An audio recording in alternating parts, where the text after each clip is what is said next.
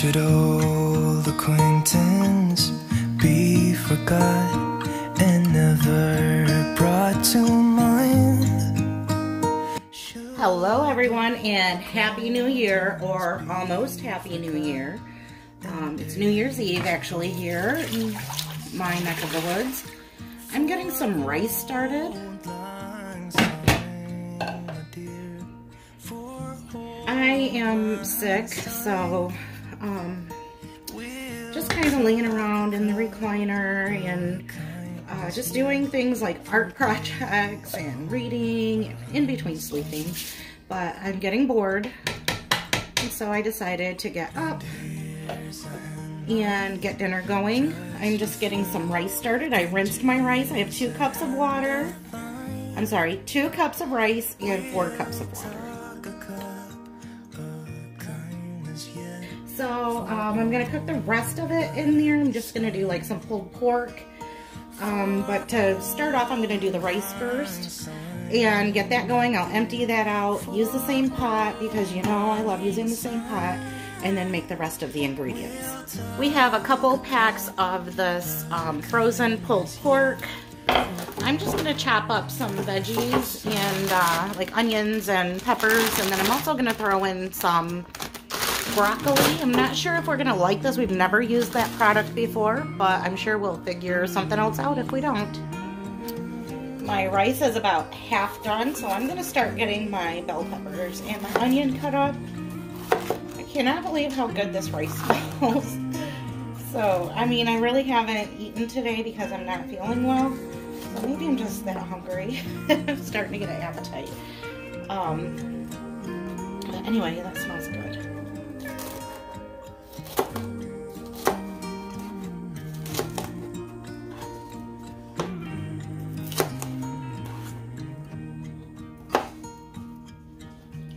Bear with me as I cut these. I've been having some issues with inflammation.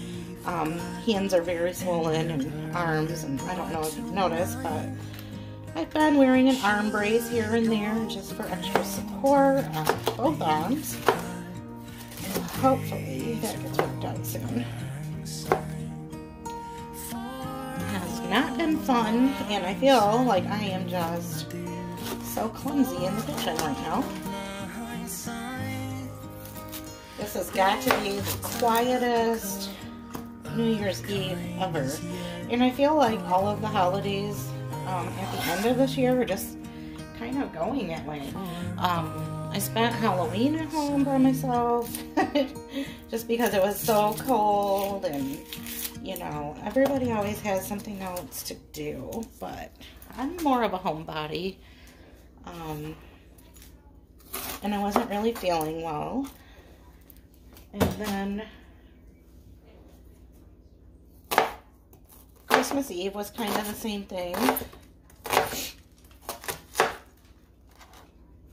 And then here we are at New Year's. Sick again. I don't know. I do like nights like tonight where I get to be in my house and in my kitchen by myself and it's nice and quiet just chop onions and peppers. Those are the kind of things that are therapeutic to me. This rice is done and it turned out perfectly. I'm just to put it into this bowl that has a lid. Um, mostly because a lot of the people here in our house do not like rice. There's only a couple of us that do. And so even though um, some people won't eat this. I just wanted to make a lot so that I can meal prep it for my lunches when we go back to work. All right, now that I have my rice out, I'm just gonna give it a quick rinse. Now I just kind of sort of rinsed out the rice and I'm not worried about it too much. I mean, it's all getting eaten together. So let me just turn this back on to saute. And I'm just gonna cook my peppers and onions on the saute mode before I add my package of pulled pork. And we'll just finish it up on slow cook.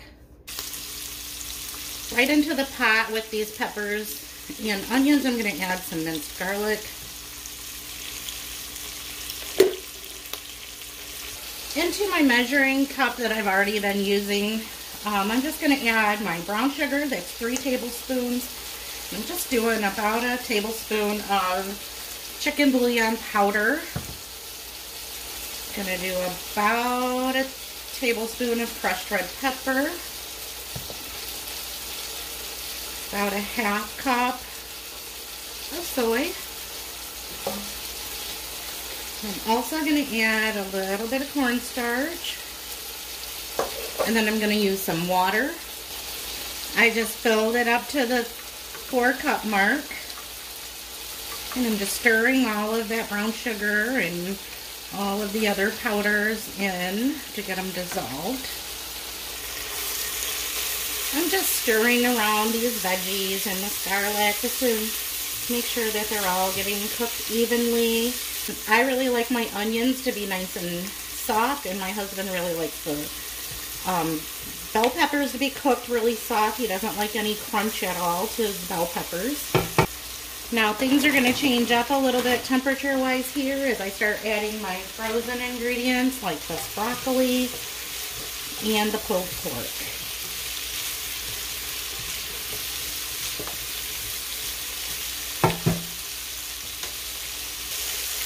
one frozen chunk of barbecue pulled pork.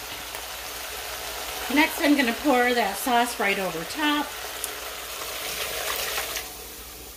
Then I'll just put the lid on and let it finish out these next seven minutes, and then I'll turn it over to slow cook. I'm going to be really honest with you right now. I totally forgot that I was cooking this, and I left it on um, saute but this is what it's looking like.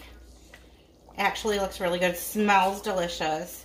Um, my husband and kid were just here and they were ready to eat, but I told them it wasn't ready, so I told them a little fib, but I didn't know. So I guess I'm just going to turn this down and keep warm because we now don't have to slow cook it or anything. It's done.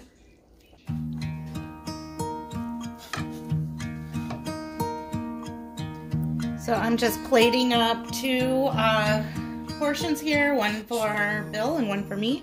Honestly, I don't think I'm going to be able to eat, so I will just be having rice. But the smells divine.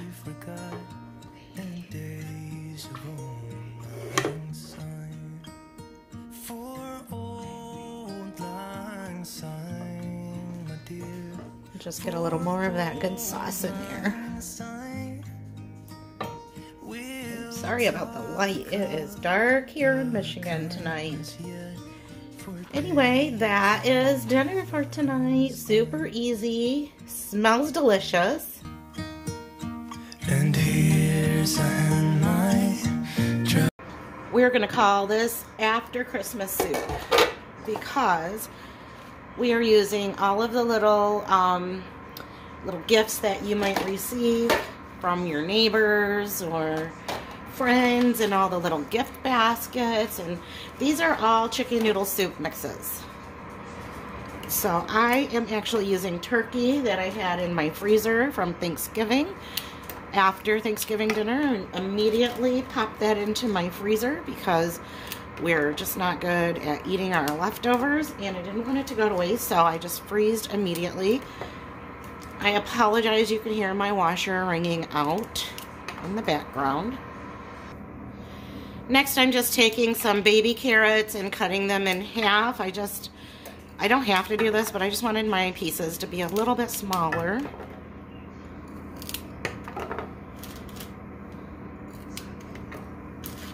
Some little ones I'll just throw in. Next I'm going to add some chopped up onions from my stash.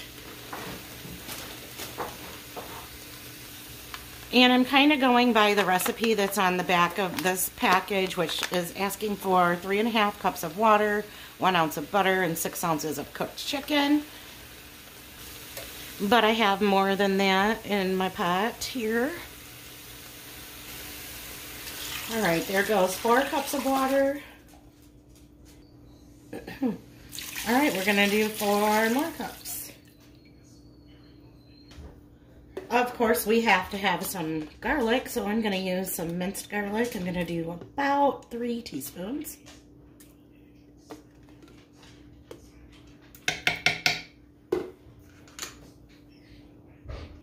Let's get the lid on, and then once that comes to a boil, we'll start adding our soup mixes.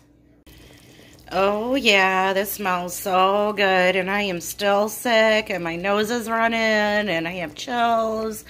I'm tired, and this is just going to be so comforting and so warming. all of these herbs are from my turkey from when I roasted it, and you can see the butter in there. Um, those carrots are working on getting soft.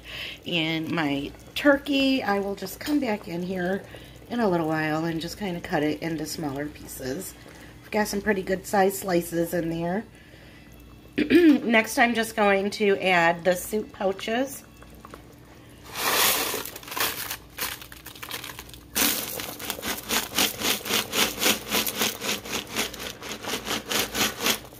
decided just to hold off on some of those mixes. Well, the noodles in the one package were kind of like the um, the ramen crumbs that you get in the bottom of the package. So I just decided to use my own noodles and add to it since the one had some pretty nice looking egg noodles in it. All right, that's all I'm doing. I'm just gonna put the lid on and let this simmer and we'll have soup in no time. I decided to add a little bit of rice into my soup bowl. And I'm just to scoop my soup right on top of that. And ladle in a good amount of that broth.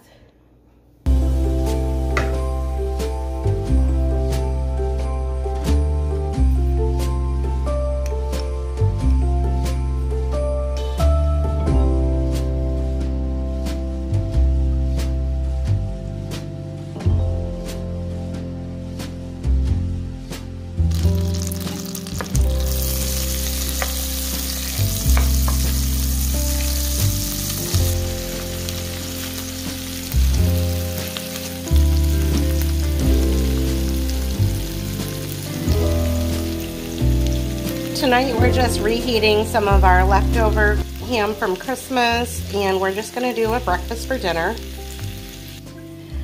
While the ham is heating up on low, I have my oven on to get some tater tots cooking in the oven.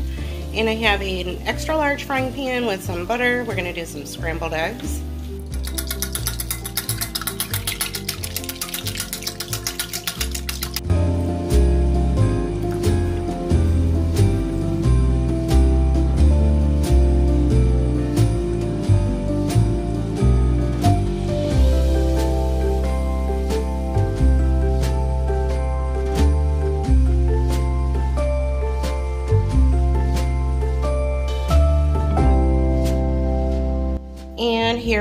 Breakfast for dinner tonight. Um, it's just been a very rough start to the new year for me. I've just been sick the whole time. So dinners have had to be on the easy side and I don't know anything easier than breakfast for dinner sometimes. Um, just using some tater tots or hash browns, some eggs, and then um, just happened to have some of this ham left over, so that was a good thing made dinner super quick and easy and just yummy and comforting as well.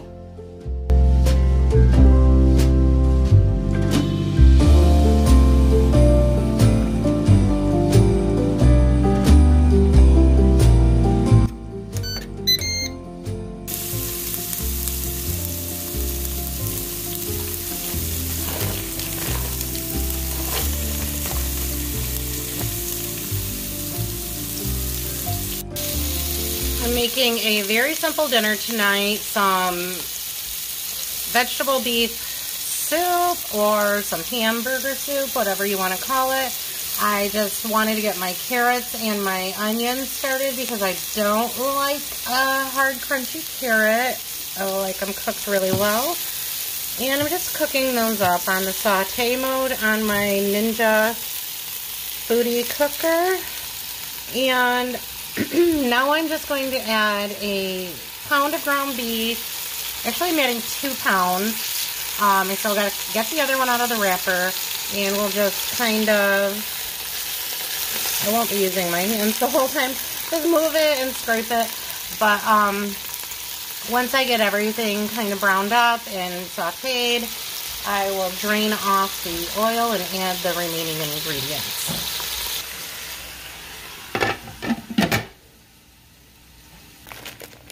I found about this much of a bag of hash browns, so guess what? That's going in too.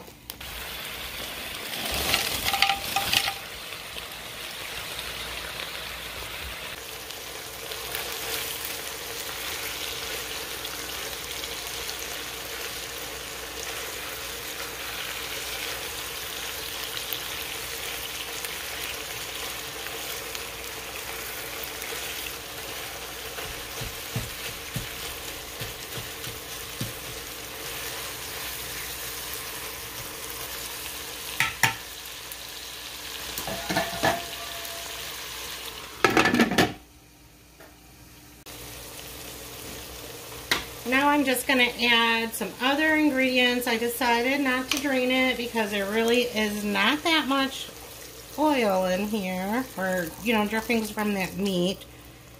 So we're just going to leave it in there.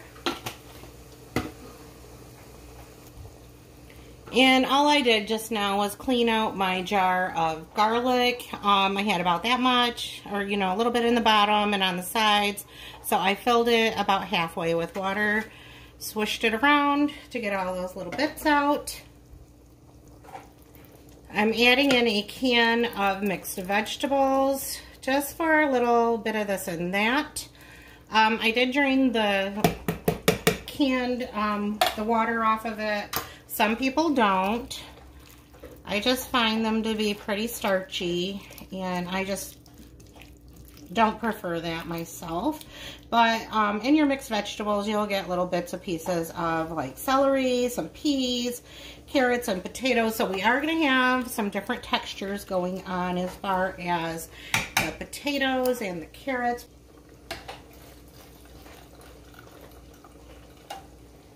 I'm adding a small can of sliced mushrooms.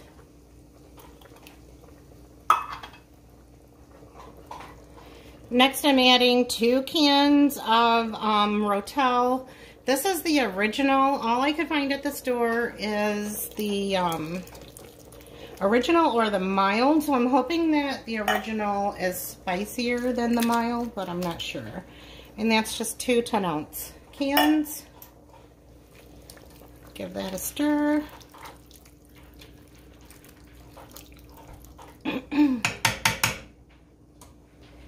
We're all still sick here, so I want something a little spicier just to kind of get us breathing good again. Now I'm just adding, entering, a whole box of beef broth. This is how it's looking so far.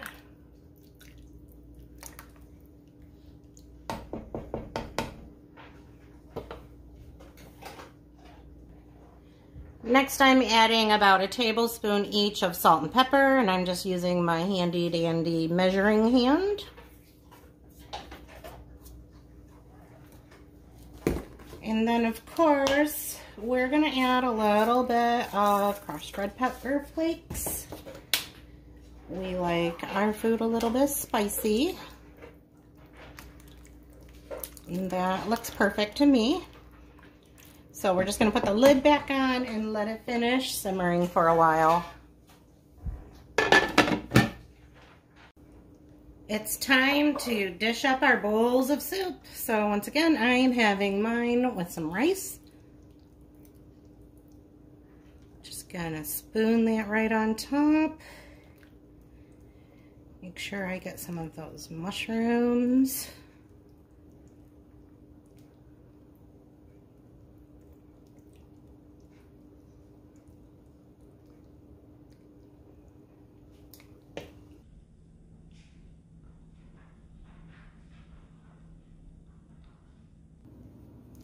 Just a little bit of Parmesan cheese on top. And I may have filled my bowl a little too full. Just try to mix it in there.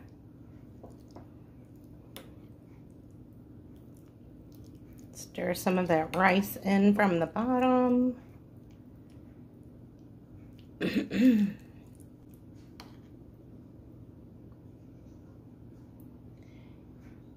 That's it. Dinner's ready. Oh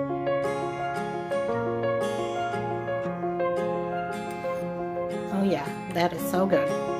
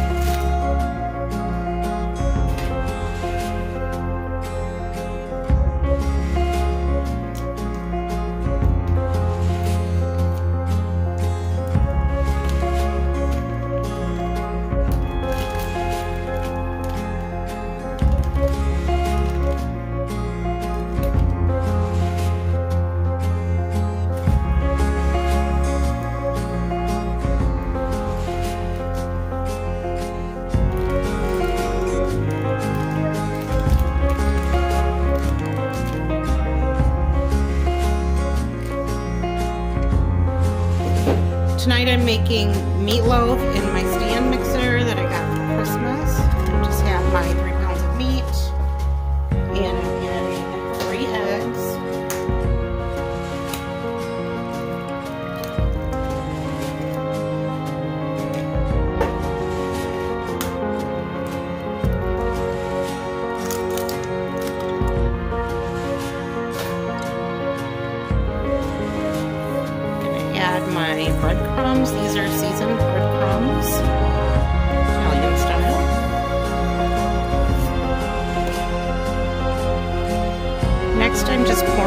some milk.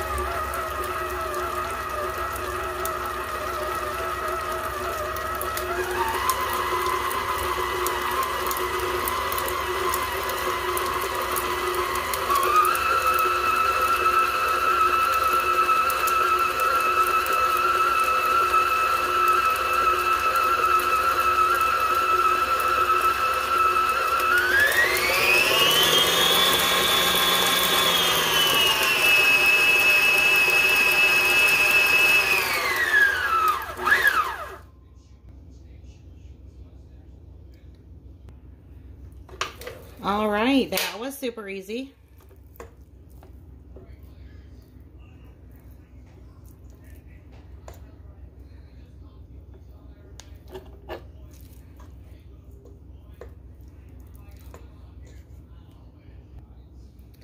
Now I'm just going to work on getting this paddle cleaned off and getting my meat shaped and in the pan.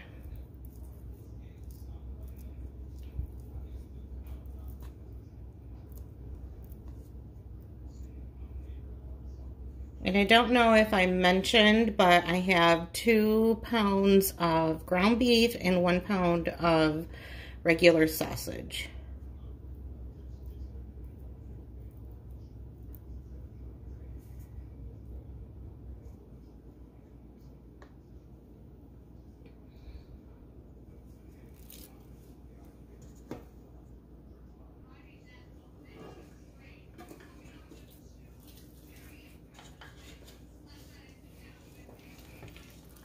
Okay, all I did was dump the meat into my pan. I'm just using my Ninja Foodi again for this meal. Um, and then I just kind of shaped it. I didn't spray it or anything because what I have found this whole week with using this um, pan is that food does not stick in it. I have some red potatoes that I just washed up and cut into smaller pieces. I'm just going to nestle those all around the sides of this meatloaf.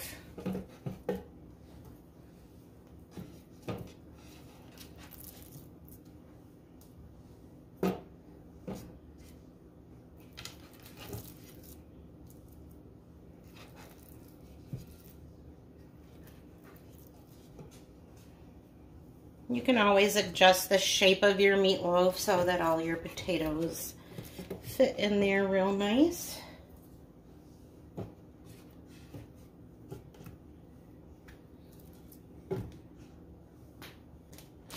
I'm also going to add some of those baby carrots in there.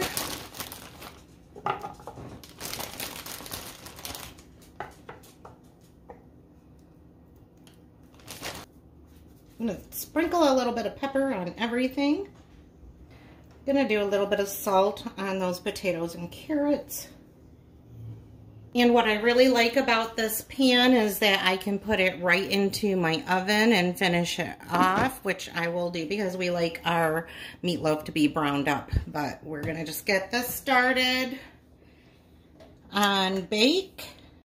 Every time I say that I'm going to finish something up in the oven, I end up not doing it. Um, so I really have very little experience with this uh, cooker. And so far, everything that I've made, I have not needed to put into the oven, so that's a good thing. Um, I was going to put this meatloaf in and just crisp up this top, but what I've noticed is that there is a nice crispy edge on the bottom of the meatloaf, so that's going to work for us. And I don't think I need to put it in the oven at all. And my family likes meatloaf with cream of mushroom soup or some kind of a gravy on it. So I'm using just two cans. Just going to kind of spread it around here